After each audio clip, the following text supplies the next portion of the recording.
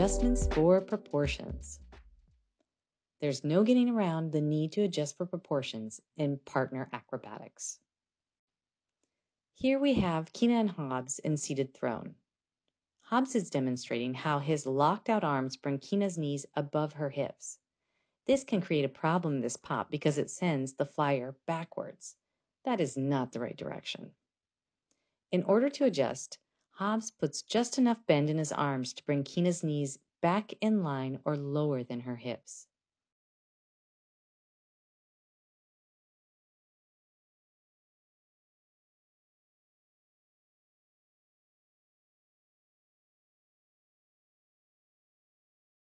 Similarly, in this straight throne pop, Hobs is keeping his elbows just a bit off the floor in order to keep Kena's weight straight up and down.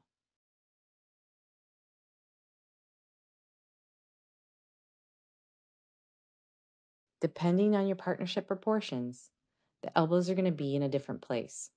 Some bases may even find they need their elbows completely on the ground.